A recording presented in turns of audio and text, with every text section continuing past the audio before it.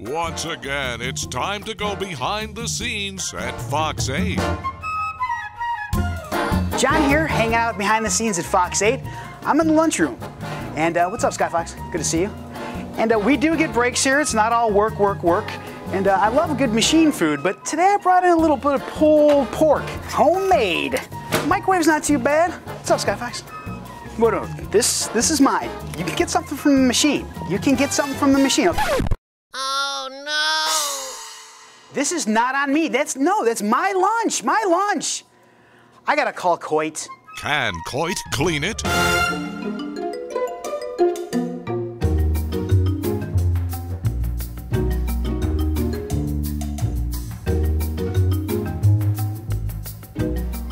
You did it, Mark. You got Skyfox clean. I didn't think it was possible. This one's not on me. It's on Skyfox. I appreciate you saved Skyfox's job. It's not clean until it's Coit clean.